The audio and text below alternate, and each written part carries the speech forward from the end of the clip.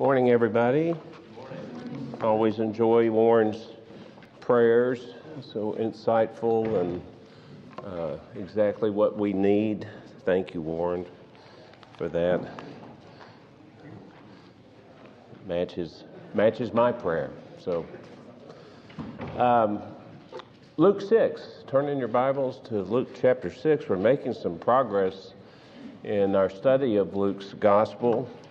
Warren referenced uh, this is a, a, different gospel than uh, the other three. And what a privilege for us to uh, have uh, before us this morning uh, Dan's message on uh, John 3.16.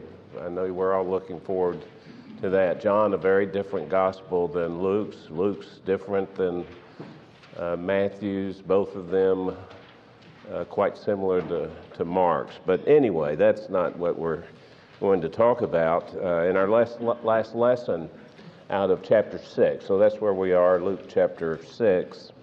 In verses 12 through 16, Jesus chose uh, his 12 disciples, or, or better, his 12 apostles. And so he has selected uh, the men who will be the primary accomplices in the greater work he has planned, though their understanding of it at this time, these 12 who he has chosen, uh, their understanding of it would prove to be woefully inadequate. And that needed remedy. Uh, there is a principle that we find throughout the Bible, going all the way back to the very beginning, to Adam and Eve, that the Lord never asked of his servants uh, what he will not also prepare and equip them for.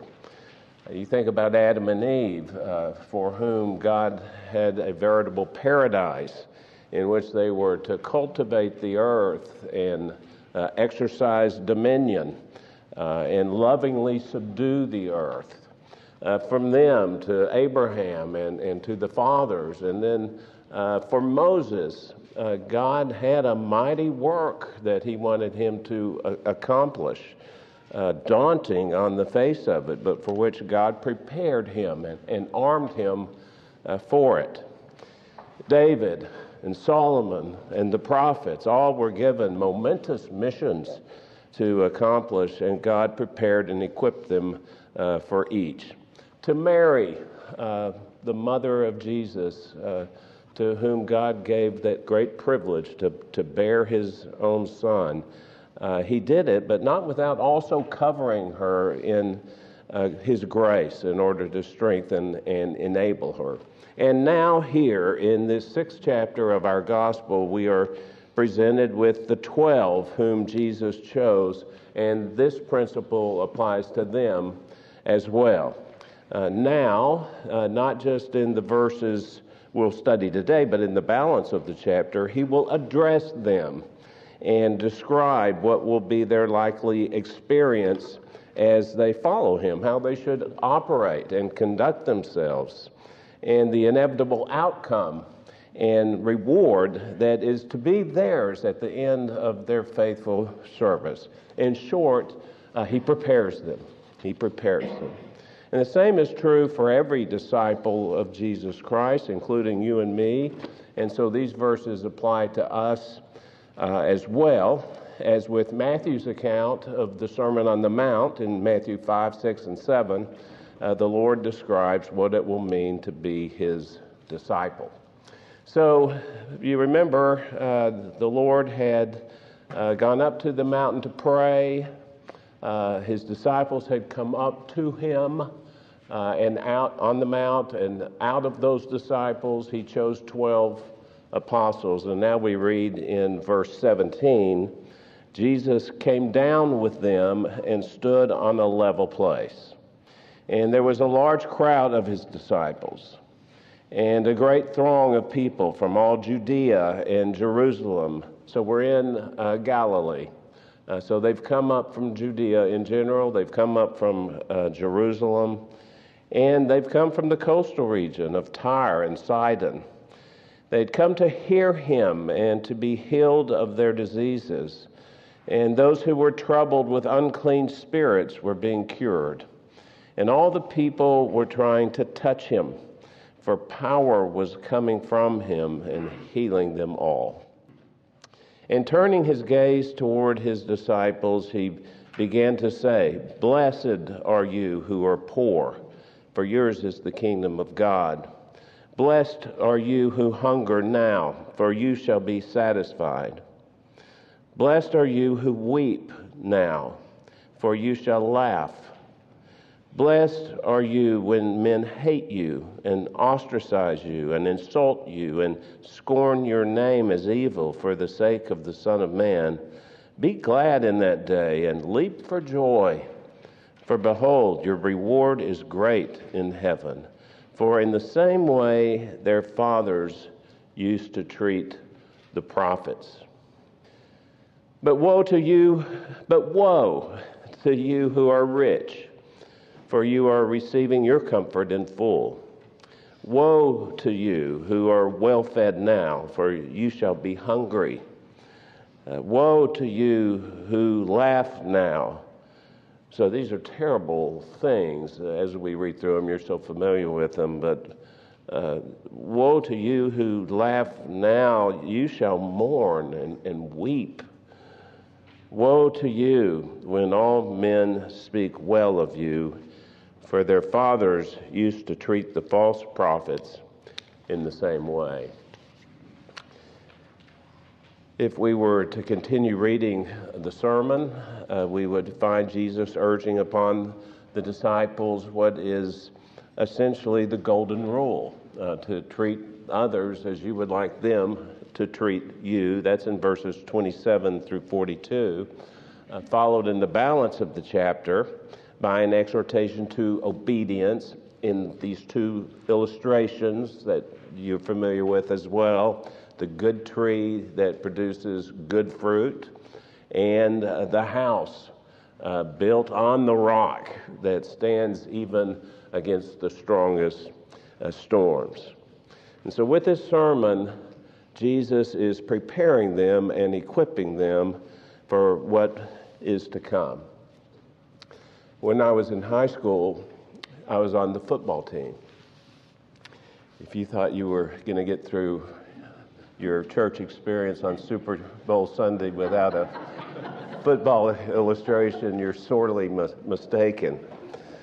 Um, our head coach, Bryan Adams High School, was Bob Cowser, and it was his practice to sit the team down at the very beginning before we ever hit the field uh, before we ever had, you know, full pad practice, and address us in regard to his overall expectations for us for the season. He was outlining uh, what it would take to be successful while also preparing us for what to expect. My junior year, uh, we had quite the football team, Bryan Adams did. Uh, we had probably seven or eight guys that went on to play college football. The University of Oklahoma, uh, the University of Texas. Two went to the University of Houston, a running back to um, Tulane. Uh, one of them went on to be an All American, and then he played 10 years uh, for the Detroit Lions. He was an NFL All Pro uh, football player. So uh, we had quite the team, and as we sat before our coach that junior year, he was intensely serious. I don't remember naturally uh, much of what he said, but I do remember his closing line because he looked at us and he said, Men, I think we can win 16 games this year. You can win the state championship. That's what he was, was saying. Well, we slipped up. Uh, we lost one game. Uh, we didn't win uh, the state championship, but I still had another year, and so uh, fast forward to my senior year, uh, sitting in the same locker room at the same time, and the same Coach Cowser uh, addressing us to prepare us for the season, and I don't remember much of that address either, except again his closing declaration. Man, I think we can win eight, nine games this year.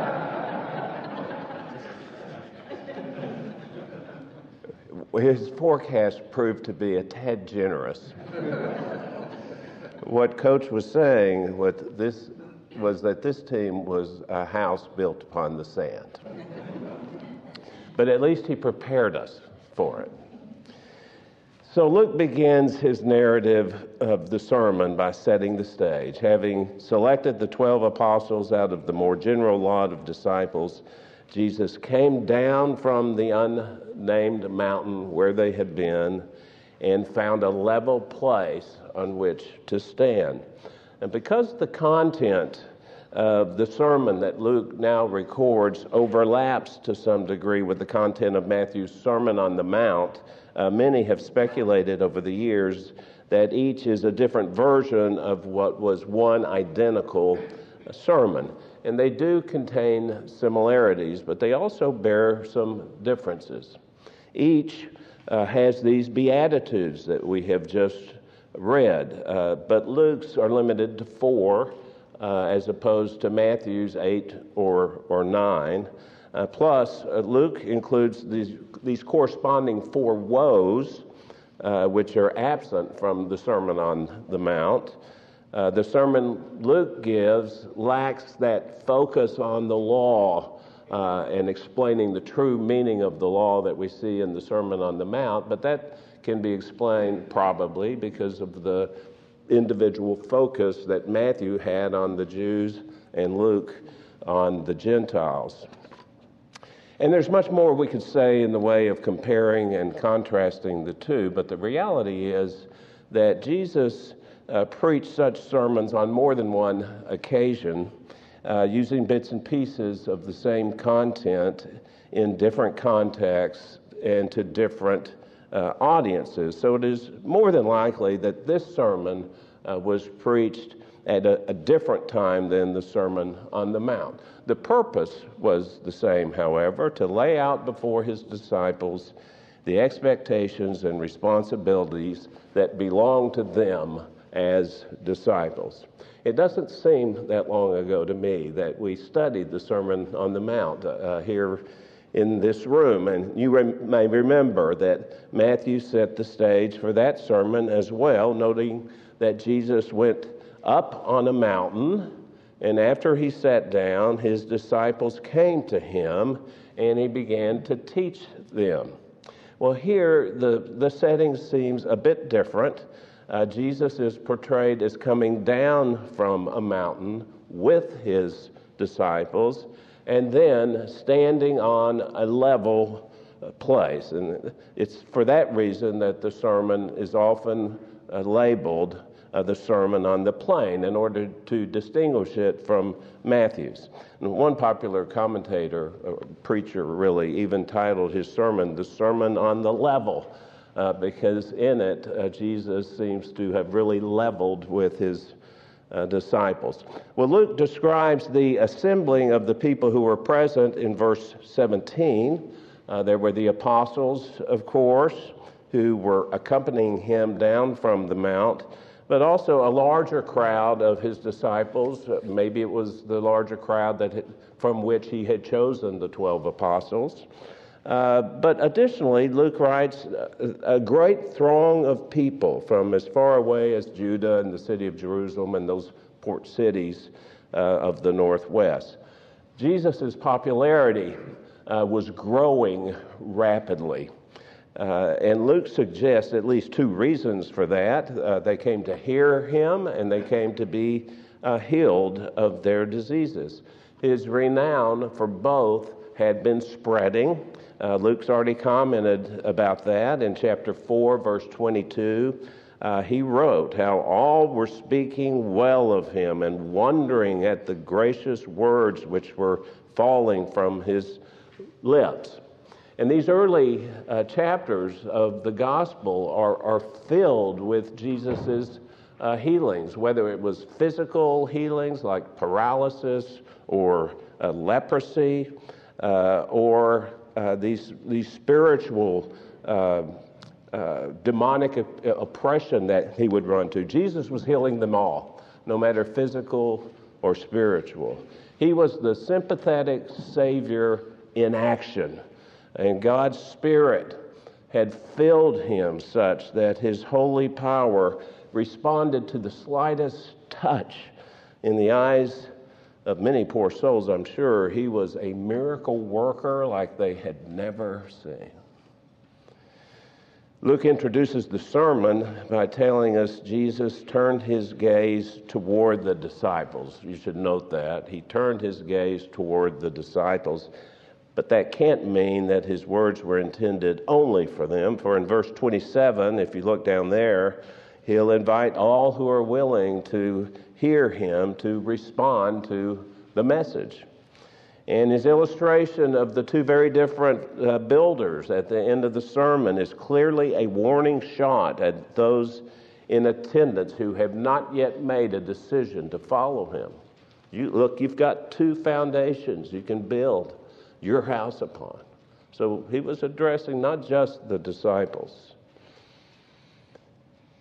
And yet, his words this day were intended primarily for his disciples as a description of what a disciple ought to be. Uh, the very direct second person plural, blessed are you, reinforces that. Uh, we may even say it gives us a, a, profile of the responsibilities belonging to a Christian. That's who we are. We're, we're, we're Christians.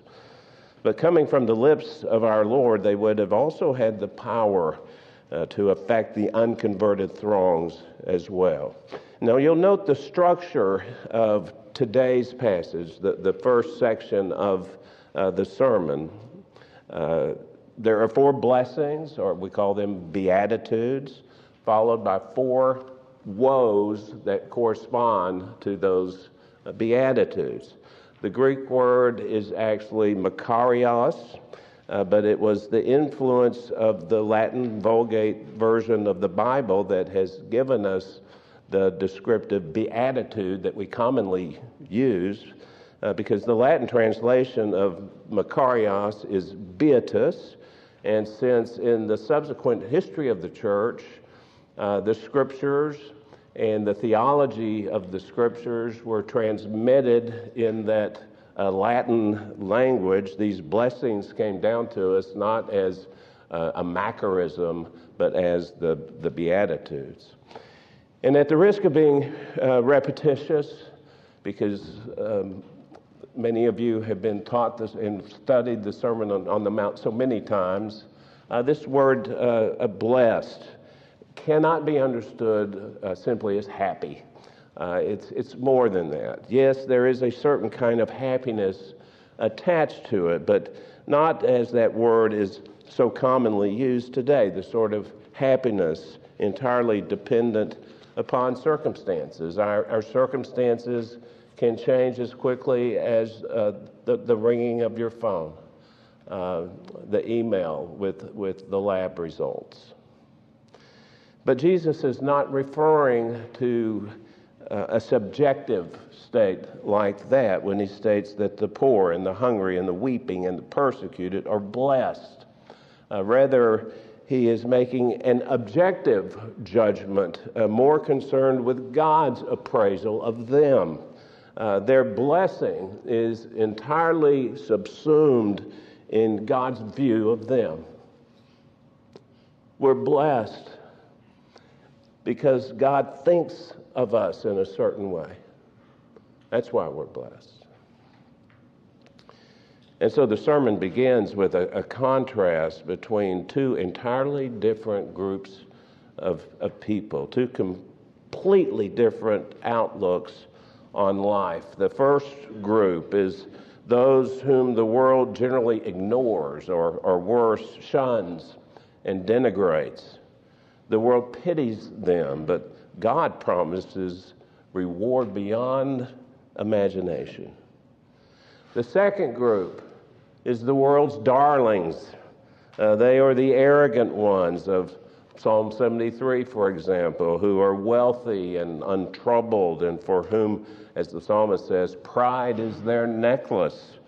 Uh, the imaginations of their heart run riot. We know these people, we run into them. Uh, they have seemingly bottomless uh, resources. They speak from on high, the, the psalmist says. They have set their mouth against the heavens, and their tongue parades through the earth. Uh, the Lord wanted to identify for his disciples these two groups juxtaposed one against uh, the other. Uh, his direct audience was a, a, band of eager, new, and enthusiastic subscribers to his cause, and he knew they needed uh, the urgent, radical reorientation of their thinking this sermon would entail. Kent Hughes described them as four spiritual H bombs, concentrated theological epigrams that detonate with increasing effect, blowing away shallow talk of discipleship and thereby calling for a true commitment. Well, the first beatitude is in verse 20 Blessed are you who are poor, for yours is the kingdom of God. There are two primary Greek words uh, that we translate as poor. One of them is penes, the other one is ptochoi. I always do this. Ptochoi. Uh, penes, P E N E S, is a word uh, describing a person who has nothing to, to spare. It's not the word that Jesus uh, used. He said, Blessed are the ptochoi.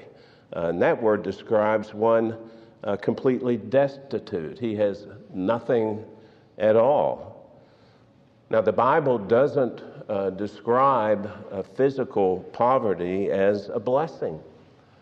We should say that at the beginning. Uh, wealth uh, rather, is usually viewed as a sign of God's blessing, uh, while poverty is uh, often a sign of the fruit of a godless life.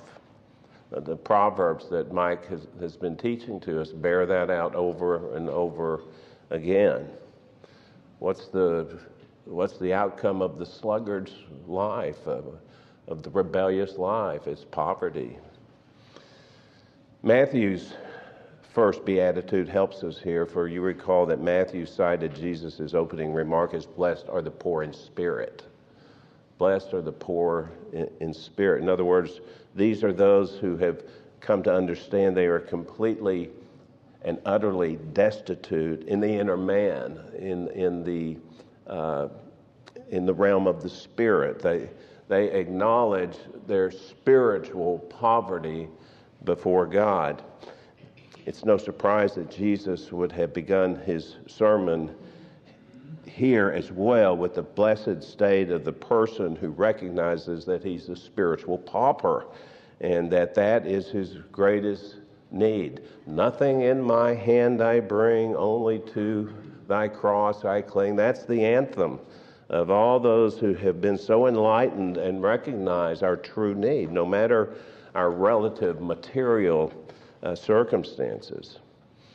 For such as these, the poor in spirit, the arrival of Jesus Christ on the scene could not be matched by any material boon. He was the very thing their heart longed for, and he had early on indicated his own self awareness of that when he began his public ministry back in chapter 4 of Luke. You remember in the synagogue, in Nazareth. He had asked for the scroll of Isaiah. He opened it up to Isaiah chapter 61 and he, he read, The Spirit of the Lord is upon me because he anointed me to preach the gospel to the poor. He handed the scroll back and he declared in the hearing of all of them, Today this scripture has been fulfilled in your hearing. Uh, the one who would vindicate the spiritually impoverished was on the scene, in other words. He had arrived. It must have been incredibly heartening. So, this first of the Beatitudes is really the key to all that follows. It's the fundamental requirement of the Christian. And once embraced, it is the key to entry into the kingdom of God. That's what the Lord promises. Yours is the kingdom of God. He put it in the present tense. Yours is the kingdom of God. The promises that, that the promises that follow are all in the future tense, notice. Uh, but Jesus' encouragement is that for such as these, uh, the kingdom, I would say for such as you, uh, the kingdom uh, is, belongs to you in the here and now. The visible rewards may come later, but the possession of it is, is, is the present experience. And so we come to the, the second beatitude, and the, the connection is obvious. Those who are poor are inevitably hungry. Uh, verse 21 Blessed are you who hunger now, for you shall be satisfied. And again, uh, Matthew's version amplifies the Lord's meaning, in which Jesus adds for righteousness. Those of you who hunger for righteousness, those who recognize their poverty of spirit inevitably hunger and thirst after righteousness. By that, he, he, he, he meant that they hunger and thirst for that right standing before God that will find his welcoming embrace of us. Righteousness. It's the spiritual delights to be found in the presence of a loving Savior that the disciple of Jesus more and more longs for. That's the experience of, of, a disciple. Uh, King David expressed it poetically in Psalm 42:1 As the deer pants for the water brooks, so my soul pants for you, O God. My soul thirsts for God, for the living God. When shall I come and appear before God? We get distracted from such an attitude. Uh, there's all the things of the world and the flesh and, and the devil. But don't you know that our loved, loved friends and family who are suffering today, their soul is longing for God like never before. So we're to understand there's a great feast to be had if, if, if we can only see straight. Uh, the, the, the uh, picture will be made explicit for us later in chapter 16. Think of chapter 16 of Luke. Jesus tells the story of Lazarus and the rich man. Lazarus, uh, so poor and hungry uh, in the present, so poor and hungry on earth, longing to be fed from the crumbs that recklessly fall off the rich man's uh, table. But then Lazarus dies, and, and he was carried away by angels to Abraham's bosom, where he was comforted, and he feasted. And he was to feast uh, forever. Then the roles uh, were reversed. Then uh, the, uh, the former rich man who had hungered not for righteousness, but for the riches and delicacies of this life, agonizingly, you remember, agonizingly pleaded for the good things of heaven, but it was too late. Those who hunger for righteousness in, in this life, however, will be satisfied, Jesus says, because they had recognized their true need. Uh, they will be satisfied because of that. Once it had looked like they had it all wrong. They looked, it looked like they were foolish, but God will vindicate those who have thrown in their lot with his son. And that's a challenge I know we all face in this world of abundance, of recognizing what our true need is and then directing our energies there instead of upon the things that merely satisfy for uh, the moment. And so may the Lord deliver us. I know you agree with me. May He deliver us uh, from such short sightedness uh, that we might not seek to satiate earthly desires, but instead, as Paul wrote in Colossians chapter 3, keep seeking the things above where Christ is. Keep seeking those things where Christ is, seated at the right hand of God. Set your mind on the things above, not on the things that are on the earth. It's a consistent lesson uh, from God's Word. The third beatitude is uh, also in verse 21. Blessed are you who weep now, for you shall laugh.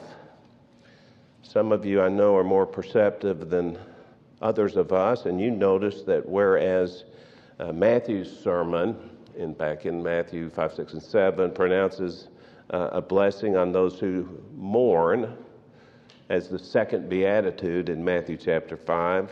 Luke's version does not have that beatitude. It may be that the Lord was conveying the same thought here in different words.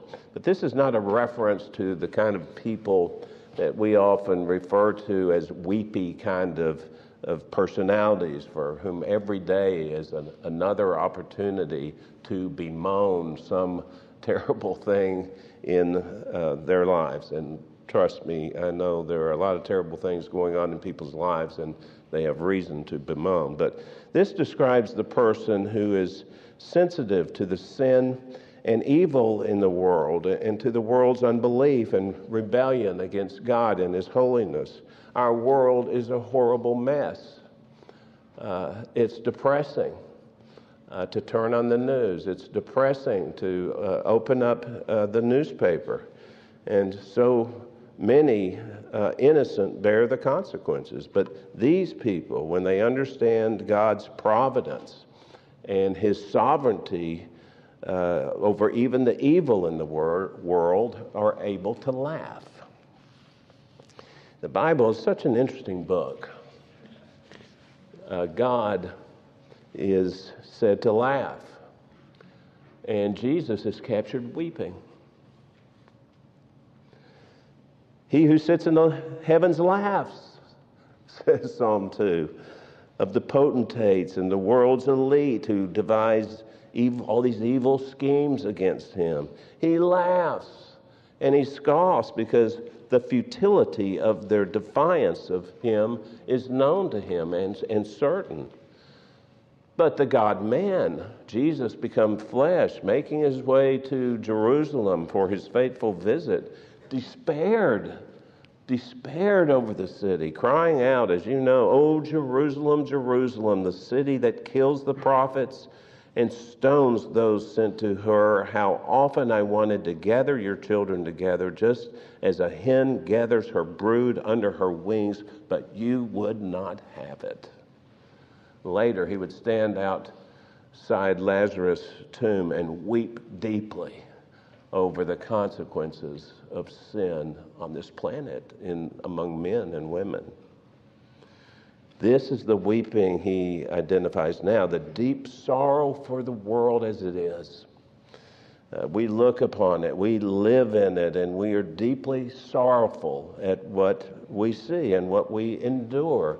Uh, broken families, hopeless children, the scourge of uh, abortion, the twisted perversion of all that is good and beautiful in men and women made in God's image, magnified by a largely godless and manipulative media wielding the power of bias in their reporting. We look at the nations of the world and, and we weep at the political corruption and moral cowardice of so many of our leaders. There's much to weep over if we pause to review, but in the future, God knows there will be great joy and laughter. And our deep faith in God's great promises allows us, even now, if not a, a hearty laugh, at least a thankful smile, uh, knowing that God is on his throne and he's causing all things to work together for those who love him.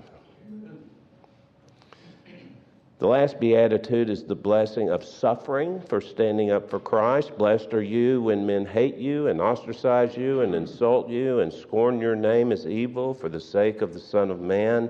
Be glad in that day and weep for joy, for behold, your reward is great in heaven.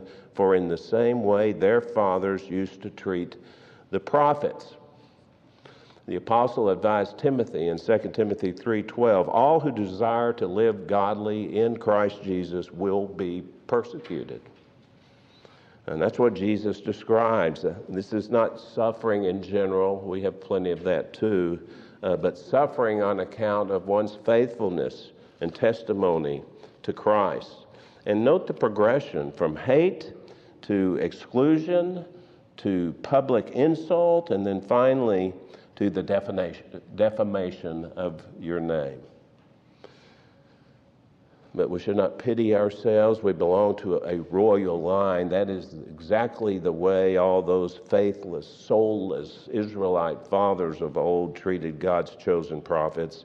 It was all for the sake of the Lord. And when we suffer like them today, it is all for the sake of Christ. If we follow him faithfully, we should expect to suffer. Leon Morris summed it up well when he wrote Jesus promised his followers that they would be absurdly happy, but also that they would never be out of trouble. And now the woes follow. Uh, they correspond in a negative fashion to the four blessings, so we'll uh, go through them quite quickly. Uh, the poor are blessed, but woe to you who are rich. Notice. The hungry are blessed, uh, but woe to you who are well fed now. Those who weep are blessed, but woe to you who laugh now. Those who suffer for Christ are blessed, but woe to you when all men speak well of you, for their fathers, note, used to treat the false prophets in the same way. Well, we don't typically pronounce woes on people. Some of you do, maybe, I don't know. But uh, in the rare cases we do do that, we mean them as pronouncements of judgment. We can be that way. Uh, but when used by the Lord, the woe, woe was intended as an expression of pity for those who had come into an unenviable uh, condition. Uh, rather than envying the proud rich, uh, Jesus clarifies that we should pity them instead because they are enjoying now the very best they will have for eternity, and their pleasures will be very brief. Uh, the language, you're receiving your comfort in full, was used for commercial receipts to indicate paid in full. The debt is paid. Uh, these are the rich whose largesse centered only upon their pleasures and their own gain and not to assist the poor or those who were uh, in, in, in need or, or helpless. Had they been less selfish and, and more loving and kind, uh, they might have laid up for themselves treasure in heaven. But as it was, their account is paid in full, it's closed. And those who are well fed now are the ones who have found their satisfaction, even their deepest meaning, perhaps, in the pleasures and things uh, they have accumu- accumulated, so that they believe they have need for nothing else. Uh, certainly not God and His Christ. Their future is frightening indeed, as they will soon hunger but find no relief. Those who are laughing now will, will soon uh, mourn and weep. Of course, the, the Lord was not uh, recommending gloominess.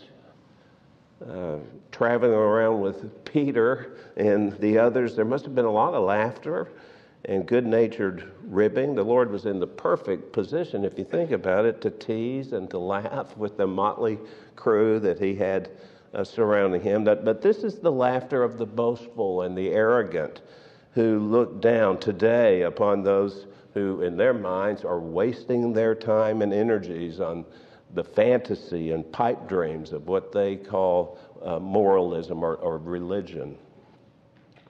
But their laughter will be turned into mourning.